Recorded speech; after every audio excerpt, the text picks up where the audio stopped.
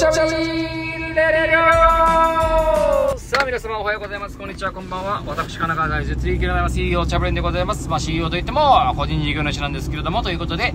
皆様、えー、せっかりですね、えー、台風の方が、えー、過ぎ去りまして、えー、今日ね、えー、9月2日に収録してるんですけども、えー、天気の中ね、作業させていただきました。まあ明日はね、雨っていう方なんですけどもね、いきなりね、雨かーいっていう感じでね、やらせてもらってるんですけども、えっ、ー、と、まあ、かなりね、あのー、涼しかったですよね。どうです？皆さん。確かに、太陽の日差しはあって汗はかくんだけど、風が通ってすごい涼しくて、はーっていう感じをね、ちょっとあのー、まあ、見受けるというか、体感するというか、うん、そういう天気で僕は、あの、心地よかったかなっていうふうに、えー、思いますね。はい。今日はまあ、ありがたいことにあの独立する前の、えー、勤めさせてもらってた会社さんのお手伝いっていうことで、えー、今日はね、あの、働かしてもらってですね、あの、懐かしいなとかってなんか思いながら、な、まあね、懐かしいっつっても2ヶ月、1ヶ月ぐらいしか経ってないから、なんかそういうのもあれなんだけど、なんかこうね、会社に行って、あの、用意して、で、みんなで車で行って、現場がで仕事終わって、会社に帰ってね、で、自分の車に乗り換えて帰るって今帰ってる途中なんですけど、そういうルーティンっていうのはなんかね、あ、懐かしいなとか、ちょっとね、こう思いながらね、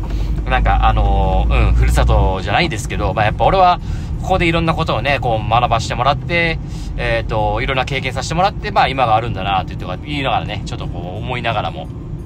えー、帰ってる、えー、今、今日この頃なんですけども、ということで、はい、やらせてもらってるんですけども、まあね、オープニングトークでね、えー、1分間ぐらい喋ってるとね、もう残り、えー、9分、えー、10分でね、このラジオを締めくくりたいなというふうに思ってるんですけども、あのー、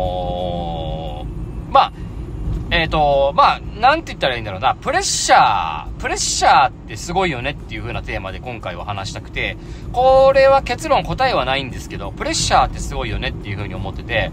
で、何が言いたいかっていうと、プレッシャー、つまり、えー、期待、えー、だったりですとか、あとは、こうしなくちゃいけないとかっていう思いから来ることだと思うんですよ、プレッシャーっていうのはね。うん、めちゃめちゃ期待されてる。例えば、大谷翔平選手が、えー、ホームラン年間60本とか50本とかって、あの、ごめんなさい、何本が多いかちょっとわかんないんであれなんですけど、50本打つとかっていう風にね、期待されてると、それがプレッシャーになってこうね、頑張んなきゃ、頑張んなきゃ、頑張んなきゃって言って、あの、打てなくなっちゃうとかってね、あるじゃないですか。それが多分プレッシャーっていう表現、正しい表現だと思うんですけど、あのー、これ自分のプレッシャーっていうのがあって、あの、最近ね、あのー、ロープに対す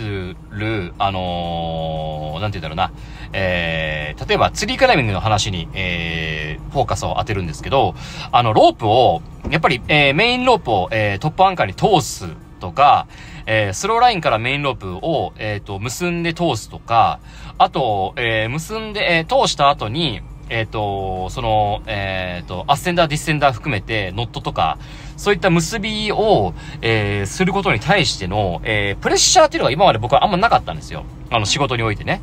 落ち着いて、えー、作業すればいいやっていうのが、えー、思ってたことだったし、結果的に多分それが一番正しいことだとは思うんですね。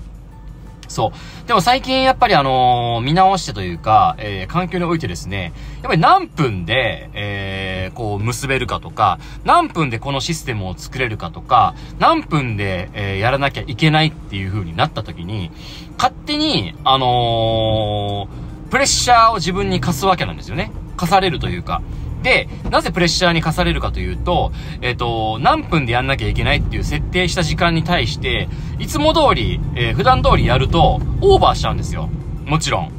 そう。オーバーしちゃうから、あ、ダメなんだ、早くしなきゃダメなんだっていうので、えー、必死に考えますよね。えー、もっとこういう風な、えっ、ー、と、手順の方がいいんじゃないかとか、もっとこういう、えっ、と、結び方だったりとか、こういう手順の方がいいんじゃないかとか、無駄がない方がいいんじゃないかとかで、バーってこうやるわけなんですよ。で、よし、準備が整った、よーい、ドンってやってる時には、すでにもうプレッシャーが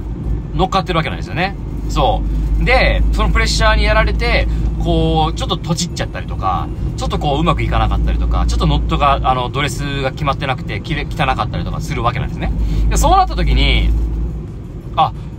やっぱり普段は落ち着いてできてるけど、その落ち着いてるのって、あの、時間？時間が、えっと、自分のそのゆとりをくれてたんだろうな、くれくれてたんだろうな、というか、くれてたんだろうなっていうのが、すごい感じてですね、ああ、自分は、こういうところが、えー、っと、まだまだ、あのー、俗に言う早いとか、そういったことなんだろうな、とか、っていう風にちょっと思って、そう、今までは、あのー、まあ、例えば枝のね、吊るし切りだったりとかするっていうのが、何回もラジオで話してるんだけど、安全に、えー、しっかり、えー、知識があって、で、グランドワーカー、クライミングされてる方の知識と連携がうまいことあれば、あの、材を大きく切ったりすることができるっていうから、えー、作業のカッティングの回数が減ったりとかするし、その分作業は早く終わるよね。大きく切ることができるから、作業が早く進むよね。っていう意味で早いのかなって思ってたんです、僕。はい。それが一番なのかなと思うし、おそらく一番なんですよ。おそらく一番なんですよ。だベストの、えー、グッドベストの方法を、えっ、ー、と、早く導き、導き出して、それを、えー、安全正確に、えー、実現することができる、コミュニケーション能力、えー、技術、知識、そういったものがあるから、えー、作業は早いよねっていう風に言われるのかなと思ってたんですけど、案外根性論なんじゃねえかなっていう風に思ってて、案外根性だったりするんじゃねえかなっていうふうに、あの、今は思ってて。だから、例えば、本当に嘘みたいだけど、ラインヤードをタイイン、タイオフするのに、この前も言ったけど、1秒以内でできてるかとか、例えばブレイクスヒッチを結ぶのに、えっと、40秒以内でできてるかとか、30秒とかでできないかとか、例えば、えっと、クライミングアップするまでの時間、スローラインからメインロープを通して、えっと、ノットの結びをして、で、えー、アンカーポイントまでに絶対に5分以内で行くとか、そういう風に、あのー、なんつってるんだろう自分にプレッシャーをかけて常にやってる人っていうのと、なんかこう安全にっていう風に、今までの自分みたいに、こうなんか、落ち着いて、落ち着いてみたいな。もちろんそうなんだけど、もちろんそうなんだけど、落ち着いてっていうところで、えっ、ー、と、やってる人の、えっ、ー、と、メンタルというか、その現実で起きてる作業法律とか作業スピードにおいては、やっぱりね、差が出るんだなって思いました。はい。僕、ぶっちゃけね、あの、ブレイクスヒッチとかそういう結びがあったんですよ。それを、結ぼっかっていう話になって、あの、いざやった時に、最初はね、1分くらいかかったんですよ。本当に。あの、何も意識しないで。1分ちょいかかったのかなうん。本当に何も意識しないで、1分ちょいかかって、こう、こう、こうやって、で、ここで、えー、8ノット結んで、みたいな。で、こうやってブレイクス組んで、最後こうやってちょっと調整して、で、やってっていうか、まあ、1分、そうだね、1分50、50何秒かかってたんじゃない？多分。で、やってたんですけど、これじゃ全然ダメだなと思って、30秒目指そうと思って、30秒目指してね、今結んでやってるんですよ。でも、30秒にはまだ正直届いてないんですけど、あのー、37秒までは行ったんですよ。あ、5秒か。まあでも綺麗にしたら37秒だから37秒でしょ。37秒まで行ったんですよ。で、それをずーっと続けてたんですよ。まあずっとっつっても1日2日だけど、まだね。ずーっと続けて、37秒、あーくそ、39秒、あーくそ、40秒、あー37秒、あーみたいな。なかなか37の壁超えれんねえな。あ、35秒出た。あ、ちょっとでも汚いかも。みたいな。それを続けていくと、37秒で結ぶことが当たり前になってきて、で、気づけば、37秒から早くはなってないんだけど、ドレスとかのノットが綺麗になってくるようになったの。これって、やっぱり、あのー、前はそのプレッシャー、早くしなきゃっていうプレッシャーに対して、こう、手がね、こう、なんて言うんだろうな、あの、おぼつかなかったりとかするところもあったんだけど、そこで、プレッシャーをかけてる中で落ち着けば、ちょっとずつちょっとずつ一個一個のあの、初手とか、あの動作っていうのが、すごいね、洗練されてきて、今はね、アベレージでだいたい35秒から40秒の間では、えっ、と、ノットの、えー、結びを、あのー、結ぶことができるようになったんですよ。そう。だこれって、あのー前、さっき言ってた、そのやり方とか大きく切れば作業が早いよねっていうことじゃないじゃないですか。だから、常に自分はどれだけのプレッシャーというか、落ち着く中でのプレッシャーをかけて、作業できてるのかっていうところを振り返った時に、俺全然まだまだダメだったなっていうふうに思ってて。で、ツリークライミングで、クライミングアップして、選定をするとかっていうところの手順とかを考えるのは、割かしそういうプレッシャーを自分ではかけてたの。でも、そこまで行く、あの、クライミングするまでの準備。そういったところに、まだまだ全然僕はプレッシャーをかけれてなかったな、とかっていうふうに思ってて、だから、あながち、作業が早いよね、とか、あの、大きく切ることが、あの、作業効率をアップする方法だよね、っていうよりも、ブレークスを組めるかとか、あの、フッターセンダーとか、ハーネスを履くスピードとか、あの、そういった、えっ、ー、と、本当に自分にプレッシャーをかけることでしか速くならないようなことってあるんだなっていうふうに思ってて。だって僕、さっき言ったように1分かかってたのがだいたい30秒で半分になったわけじゃないですか。で、半分になったっていうことは、それの分、あの、クライミングアップするタイミングが速くなるわけだし、でそうなってくると選定する時間がもっともっと速くなってくるわけですよね。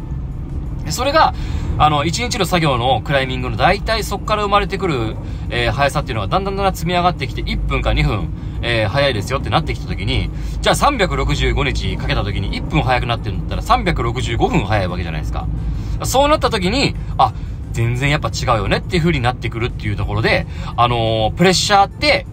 大変だけど、あのー、すごいなっていう風に思ったっていうラジオでございました。このラジオは平日の月曜日から金曜日の朝6時に、えー、放送しております。えー、ちょっとね、最近あのー、本当に集中しなくちゃいけないことが多くて、あの今日はね、たまたまちょっとあの、昔のルーティンに落とし込んで、え帰りながら、えラジオを放送してますけど、収録してますけど、ちょっとね、あのできない時がたまたま、えあったりする。それでちょっとね、あの、放送できないとこの時もあるんですけど、基本的には、ごめんなさい。基本的には月曜日から金曜日に、えー、放送しておりますので、ぜひ、チャンネル登録、コメント、グッドボタンよろしくお願いします。主に、えー、ツリークライミングの話とか、仕事の話とか、えー、ちょっとね、たまには、えー、たまにもない話とかもするんですけど、基本的にはツリークライミングの話を、えー、しておりますので、ぜひごご清聴お願いします。また概要欄にインスタグラムのアカウント貼ってますので、えー、私の日々の活動だったりとか、あとは、まあ、あの、ご、ご相談とかね、えー、コメントとか、えー、ラジオで話してほしいテーマなど、もしありましたら、えー、コメントだったりとか、ダイレクトメッセージだったりとか、この YouTube のコメントに残していただければと思います。それではまた、次のラジオでお会いしたいと思います。えー、明日ちょっとね、雨予報なんですけども、えー、皆さん気をつさずに頑張ってやっていきましょう。それではまた、次のラジオでお会いしましょう。次の決めてるんですけども、さよならプレッシャープレッシャープレッシャー !See you!